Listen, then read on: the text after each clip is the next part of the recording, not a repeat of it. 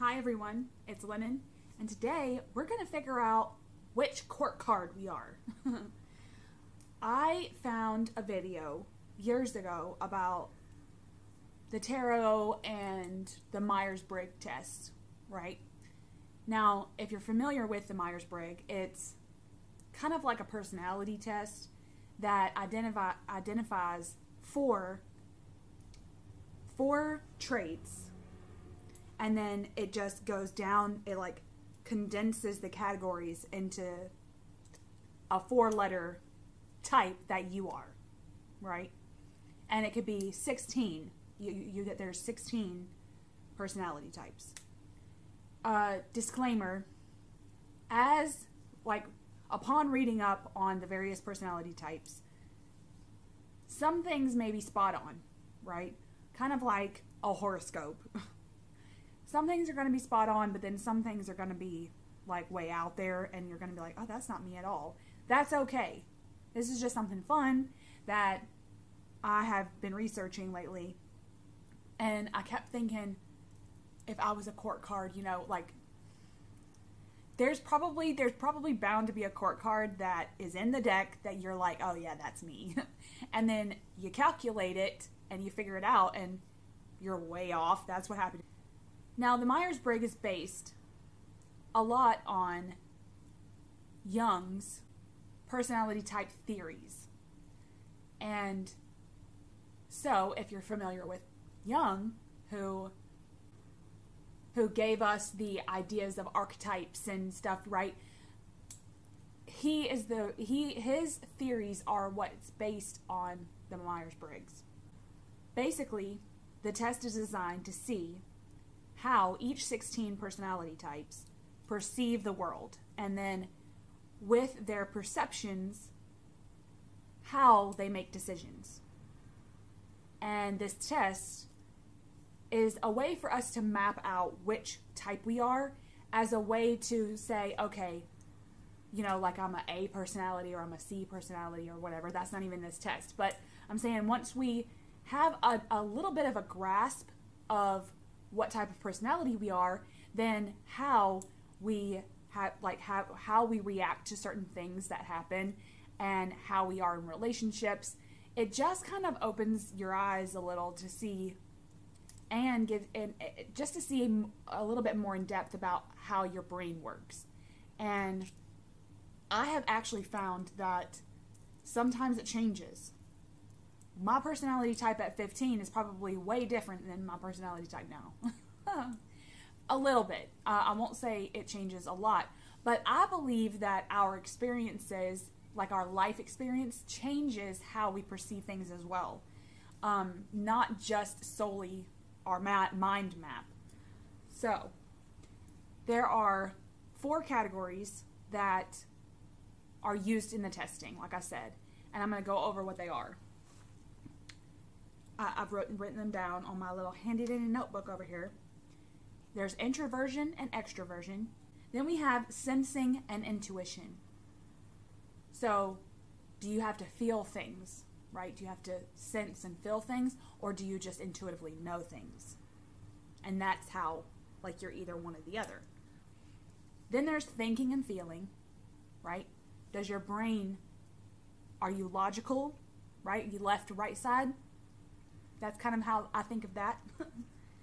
and then there's judgment perception. And so, like I said, once you map that out, it plugs out 16 personality types. Okay? And I'm not going to give you mine, but I encourage you if if for anything but just to have fun with it, okay, and not something serious. It may be something that you can journal about. It may just be an exercise for you to even further get to know yourself because as a solitary practitioner in my spiritual witchy practice, that's like the most important thing is to know thyself. And I've made a video about that already. But so if there's things out there that can open my mind up to how I perceive the world and how I react and how I deal with relationships and how I am in relationships and how I am in all things like career, you know, career, family, children, whatever, it helps to open my eyes to some of that stuff. And so when doing this exercise, just keep that in mind. You don't this doesn't have to be anything like that's in stone. This can just be a fun exercise that takes you on a get to know yourself uh, journey. There is also another website that I'm going to encourage you to go. And it's called the Keirsey Temperament Sorter. Now, what they have effectively done on this website is taken the 16 personality types and then roped them into like role variants. Um, basically, it's taking the personality types and putting an actual archetype on there, is how I kind of perceive the website. I'm going to leave the. I took my Myers Briggs on a website I think called 16personality.com. Um, it's free, it's easy. They email you your results. Um, they give you a name as well. Mine happened to be the mediator, which isn't what the Keirsey temperament sorter put me as. but so that's going to be different. But it's just for the four letters, and then you go to the Keirsey temperament sorter. You plug that in to, like, you find yours, and then it gives you a name. And when we look at the suits for one, okay? Like for the suit of cups, it would be the teacher, the counselor, the champion, and the healer. That's making a lot of sense, isn't it? For the cups. when I saw that, I was like, wow, that that's pretty crazy. Now, like I said, the disclaimer back at the beginning. This isn't an exact science, okay? Everyone has different life experiences, different, they make different observations. So, what personality type I am, and then let's say you're the same personality type, we could be really different people in general. so, I, I just want to put that out there. But when you figure out what court card you are, especially if you're already a lover of tarot and a tarot nerd and want to know everything, and a studier like me, I just I kind of like to open up, look tarot outside of the box, and relearn a lot of things that you that I think I know. Retake some of the notes that I took years ago that may open my open my mind even more. So it's all about expansion. And when I think of it that way, I think, okay, the court card I am. So when it comes up in a reading, right, I'm like, okay, well, then this is talking about somebody that's a lot like me, or it's talking about me, right? Or I can just get a feel of the reading because I'm kind of making that connection between me and this court card. And I'm like, oh, okay, well, then that's how I think. Maybe the reading's going in that direction. So it it's a it's a kind of just a fun way to add something else to the reading. There's so many layers that you can put on a reading that I like to explore those things. We're going to turn the camera around, look at the court cards, give them a name, and then I encourage everyone to take the test and figure out what they are. Tell me if you've done it. Tell me if this is a fun exercise that you've done that has expanded your tarot practice or expanded getting to know yourself a little bit and I like to mix the two. So, see you on the other side. Okay, welcome back. Now we're going to jump right in here. We're going to start at the Kings and work our way down to the pages, so to speak. And what I'm going to do is tell you the four letter personality type, and then, of course, what that may be, and then the name that the Keirsey temperament sorter gives that personality type. And you might start to see some patterns too, and we'll kind of go into that a little bit. Um, okay, so let's get started. First, the first pattern that I have that I saw with this is that all the kings are extroverted, all of them. And then their other three letters, so to speak, we'll go over in a minute. Now, the King of Wands is an ENTJ, which is an extrovert, intuitive, thinking, judging. Wow.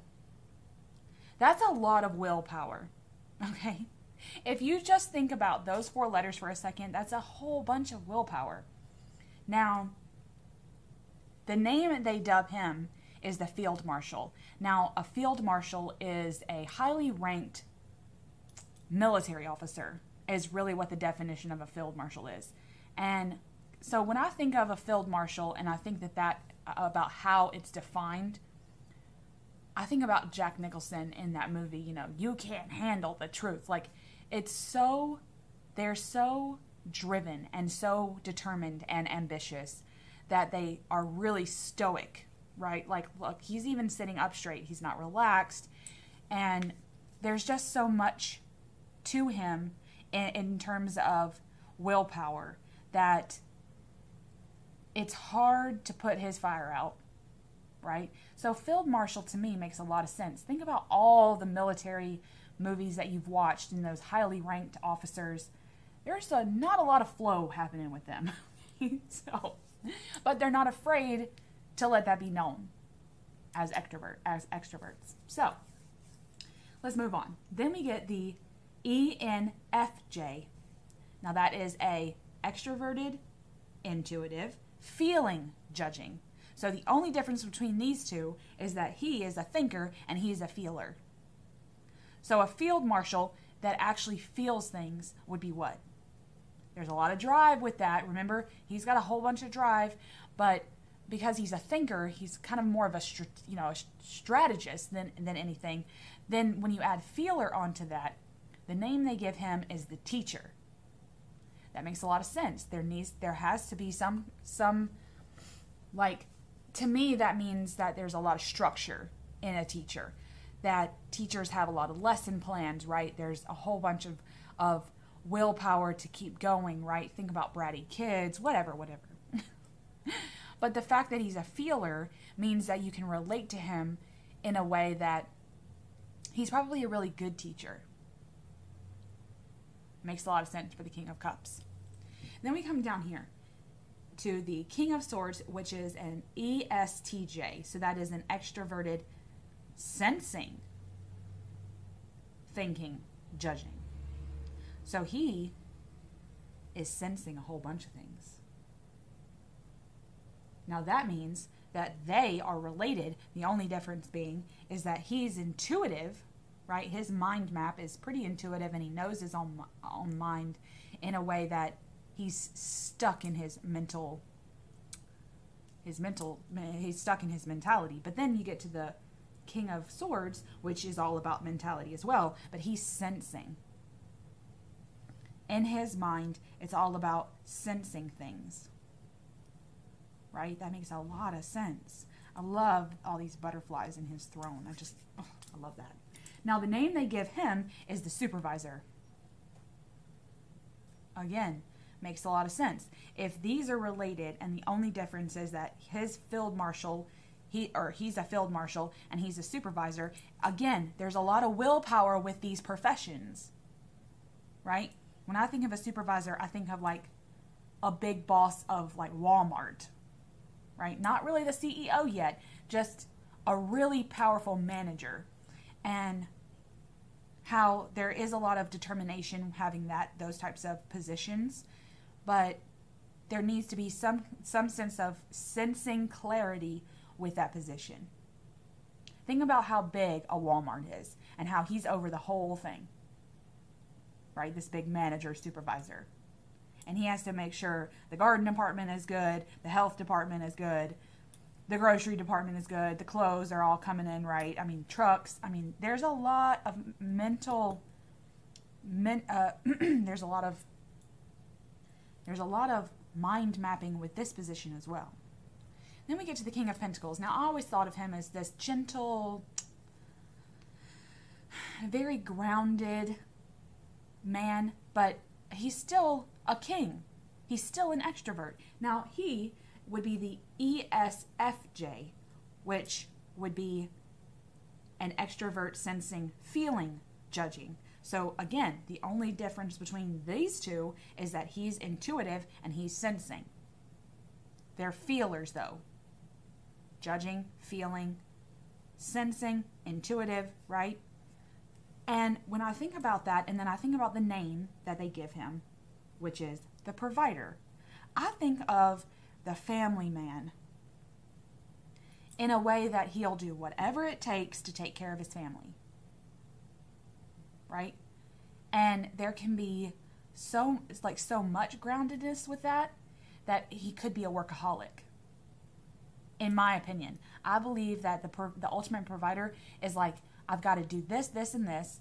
Again, I see a lot of like really powerful positions here. The provider is a powerful, powerful position as well, being the family man and structuring the whole entirety of the family. And he knows that by doing that, the main thing he has to do is provide. So he probably works a shit ton. Okay, let's move on. We're going to get to the queens now. Now, much like the kings are all extroverted, the queens are all introverts. And when I think of that, I think, okay, well, that makes a little bit of sense. Like they need their solitude, right? They need their alone time to be able to, to really process the position that the Keirsey temperament sorter gives them. So let's start with the Queen of Wands. And she is a INTJ. So the only difference between her and the King of Wands is that he's an extrovert and she's an introvert.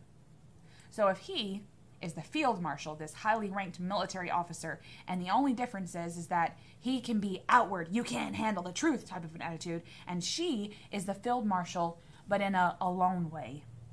In a I can she's a field marshal all by herself. She doesn't need the following of people that the field marshal has to be able to have that that type of position. And they dub her the mastermind. That makes a lot of sense. If you think of, like, I kind of think of this as the Knights of the Round Table. If the King of Wands would be like the king, he's the one that's, that's, he's the one doing all the talking. But his right hand man, whoever it, it may be, could be his wife, could be his mother, whoever, but his right hand man is the one that's sitting there and he's doing all the listening. The mastermind's doing all the listening. The king is just spouting out all his knowledge and his strategies and bringing out all these maps and knowing where all the ships need to go. And they, the mastermind, is sitting there with everyone's knowledge. Not just like street smarts, but they've got a whole bunch of common sense to be able to plug all of that into one. That's kind of how I think of the Queen of Wands. So, being the mastermind, that could be anyone. That could be the fact that this this particular female, right? Let's just say that this is a female. That could just be that she wears the pants in that family because she takes care of all the finances, she takes care of the lawn care, you know, and all the man does is bring home the bacon, like the field marshal. Let's just say. Okay, more on that here. So then we get to the Queen of Cups. Now, the Queen of Cups is the counselor, as an ENFJ, or an INFJ, I'm sorry. So she is an intuitive, uh, in, introvert, intuitive, feeling, judging. Again, only difference between her and the king is that she's an introvert. So if the King of Cups is the teacher, right, as an extrovert, he has to have that classroom full of kids to be able to spout off that position to ha- to keep that position he needs those those following of students well take away the following of the students what would that be the counselor she needs she's like she's basically the same thing as a teacher but works better one-on-one right works better on the phone works better you know with you sitting on that couch right? Think therapist. That's kind of how I think of this. But counselor could have many names. It doesn't have to actually be a therapist. Doesn't. She doesn't even have to have a actual career with this position. I don't believe you can be a counselor and help people and be better one on one helping people than she would be in a crowd. Makes a lot of sense for her. Then we get to the Queen of Swords, and everybody loves her. again, the only difference between her and the king is that she's intuitive. So if he is the supervisor, right, think about big Walmart, take Walmart away, what would you what would you get? The inspector. Is this is a one day job. He goes in and he's able to do it all in one. She's able to do it all in one day. That's how organized mentally she is. She's got her clipboard and she's clicking away and she doesn't have to manage Walmart but for one day. And she can do it in one day. She doesn't have to do it every day. He that's his position. She comes in, she's like, "Okay, well, you need to do this, this, this and this." And that's how that's how you can better run your Walmart. That makes a lot of sense for her to be the inspector. Now, I'm not saying that his position is less because he has to do that every day and she can only she can do it in one. It's just that with her being an introvert, that makes her more of an internal her mind map is internal. Her planning and organization is more internal and better one on one. She doesn't have to manage all the people of the Walmart, she just needs to manage him. She just needs to manage him in a way, and she's only dealing with him so that he can put forth better skill better skills to do all the other people that he's over. Again, works better one on one. Then we then we get to the Queen of Pentacles. Now she is the ISFJ, an intuitive, sensing, feeling, judging. Again, we're trying to see patterns, so I, I like to look at the kings here.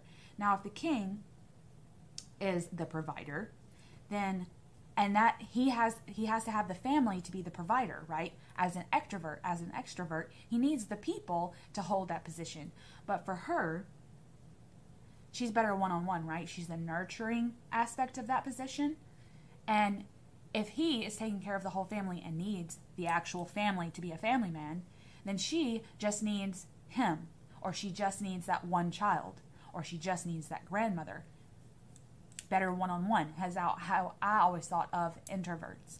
And so they call her the protector. That makes so much sense for her because if he is the provider and he's providing, then she, her main job is to stay home, you know, mostly liking that position, right? Housewife type of a mentality that keeps her at home and keeps her holding the fort down. She's holding the fort while he's taking care of the fort. And they're just two sides of the same coin to me. Makes a lot of sense for her. Okay. Now we get to the knights. There's a whole bunch of action with the knights that I love. The Knight of Wands. Again, let's see some patterns. Or let's see some patterns here. All the knights are extroverted, much like the kings, right? All of them are extroverted. Now, now we get into the other side of the spectrum. The knight or the king and queen are two sides of the same coin as judgings. They're judgers. That's the last letter of all of all eight of those personality types. And the knight and the pages are going to be two sides of diff- different coins for perceivers. Okay? Perception. That's what the knights and the pages are. And then there's some differences that we're going off of, much like the knights we're talking about right now are extroverts, all of them. So the Knight of Wands is the ENTP. That means extroverted, intuitive, thinking, perceptive. And the name they give him is the inventor. I think of him as someone who has so many ideas, right? I mean, Look at the drive and the willpower he has. And he needs the crowd, okay? Needs the patent office. and he needs his things, he needs his materials. And he's able to stand up and give out a speech about all it entails to invent his thing that he invented. And he probably ha- is inventing all things. He doesn't even really care about the results aspect of the invention, he just has to invent. So it's much like getting his hands into things at all the time. Just has his hands in everything. And that's his goal. That's his main goal as the inventor. Makes a lot of sense for him. And then we get to the Knight of Cups, who is an extroverted, intuitive, feeling, perceiving. Again, that's a whole lot like the, the king, right? Only difference being that the king is a judger and he perceives things. It makes a lot of sense for this position too. He does look like he does look like he's perceiving some things. Now the name they give him is the champion. Now I love that they they dub him the champion, but that in this particular Rider-Waite deck, he doesn't much look victorious. He looks kind of melancholy, and not in a sad way, not in an actual melancholy way, but in a okay. If you think of the think of think of the people who win Purple Hearts and how they really don't think that they deserve them. That's how I think this. He's the champion. He's able to put forth all the necessary skills to become the champion, but then he doesn't really need the recognition. It's because he has the ability to be the champion. That's the whole point. He doesn't need the glory with it. That's not the goal for him. The goal is just to be the champion because he has all the necessary skills. Then we get to the Knight of Swords. So much action with this. Going against the wind. I love that a lot of people know that about this card. But he is an ESTP, which means extroverted, sensing, thinking, perceiving. A lot of sensing and thinking. a lot of mind, a lot of mentalities, a lot of mental things happening with those four letters. They call him the promoter. Now, when I see this position and then the name they give him, which is the promoter, I think, wow, he is the salesman that is going to do whatever the hell he can to sell me the vacuum cleaner. there's a there's wonderful um, YouTube videos out about this this young guy who goes around and he sells things and he's so funny with it. He's just he's perfect for this position. And this if he was a court card this is the what he would be. He's the promoter. The only his only goal is to put forth his knowledge of promoting something. Well well it has this this and this feature. Well you know if you buy it now you can you can save money later. Like he's the one that's going to talk you into so many things because you think he just sounds like he's just got it going on. He sounds like he sounds like he knows what he's talking about. This is not a boyfriend I want when I'm 16 years old. so, then finally we get to the, the Knight of Pentacles, who is an ESFP. That is an extroverted, sensing, feeling perception. Now, they call him the performer Again, look at this. We have the champion and the performer, and they neither one of them actually look like they're doing anything. So how is that possible? Well, with the performer, I feel like as a sensing, feeling perceptor, I feel like he's like the lion tamer. Right? When you see the lion tamer, it's not so much for the glory or for the clapping that happens. It's for the grounding control he has over the lion. It's for that moment that he looks into the lion's eyes and he's like, I have you right where I want you. That's his energy as a performer. It's not for the recognition, it's for the control. So, okay. Pages, last but not least.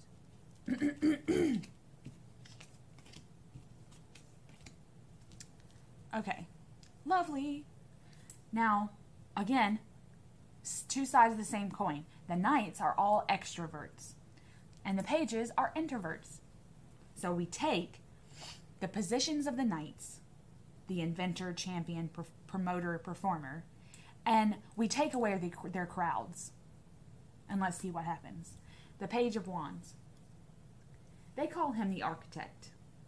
Well, if the inventor is the knight, and we have to take away all his things, right? We take away all his all of his things and the people that he's inventing for.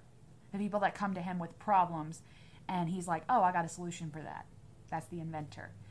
Then what does he do? all he needs is a piece of paper. That's all the architect needs. And he just has to be with himself and his piece of paper, and he can draw up a 28 story building. Doesn't need anybody. He just needs the plot of land and his piece of paper. Makes a lot of sense for the Page of Wands. He seems so in touch with just being by himself and this one tool that he needs. Maybe nothing at all. He could just tell someone how to build a 28 story building. he might not even have any tools. And then we get to the Page of Cups. And I'm sorry, the Page of Wands is an intuitive, introvert, intuitive, thinking perceiver. Now, the Page of Cups is an INFP, which is an intuitive. I'm sorry, I keep saying that first. Introvert, intuitive, feeling, perceiver. Again, if the Knight of Cups is the champion, take away take away whatever it is that he was fighting for. The crowd, so to speak. The crowd at the jousting, right? Because these are so medieval drawings, but if we take away that, then what would this be? The healer. He's still in the crowd. He's just one man in the crowd of that jousting tournament. And while the champion is being the champion because he has the skills to be the best, who is the champion in the crowd that doesn't need the crowd and he just works well with one one person? That's all he needs is one person. He doesn't need everybody. He just needs his target for who he needs to heal. It would be the doctor, right? It would be the doctor that's in that tent that's trying to heal the people that come in. That makes so much sense for the other side of the coin to be a healer, right? Think of tribes. If like I'm kind of I'm I'm kind of thinking on um, Pocahontas a little bit. You got the chief, right? Which I'm not going to say that he's the the king. Okay, I'm just trying to think about two sides of the coin. If we have the chief, then the next important person in the whole entire tribe would be the shaman or the doctor. and that makes a lot of sense for the page. Okay, and we get to the page of swords. Again, against the wind. See? The wind is coming this way, and he's looking this way. Like, ah, uh, okay. And the knight was too. The knight was doing the same thing, except the knight, there was more, mm, there was more of a uh, force with it. He's like, I'm to brave this, right? I'm going to brave this myself. I don't need to cut through it. I'm just going to stand here and let it pass. Now, if the knight of swords was the promoter, right? That salesperson that's just cutting you out, okay? Making you buy that that Kirby vacuum. Then the page is the crafter. He made the, the Kirby vacuum possible so that the promoter could sell it. And you need both. Makes a lot of sense. To be crafty to be able to withstand the storm without having to cut through anything. Now, finally, we get to the Page of Pentacles, okay? Who is an ISFP. Extra, uh, introvert, sensing, feeling, per- perception. Mm. There's so much grounding with that being being being being by yourself and then sensing things by yourself, and then being able to feel things and perceive things, there's like, there's no air with that. it's like, there's so much earth element in those four letters, it's just, ugh. And again, I like to think of the coin. If the knight was the performer, right? The lion tamer, it's about the control. Then he would be the composer, right? If the lion tamer is taming the lion, or a snake, I think kind of think of this as a as one's a lion tamer. He has the crowd, he's got a whole bunch of lions, right? Then he might be the snake charmer. He's a man and his snake and his music. That's how he is composing things. That's how it's all going to happen. If you think of someone who writes music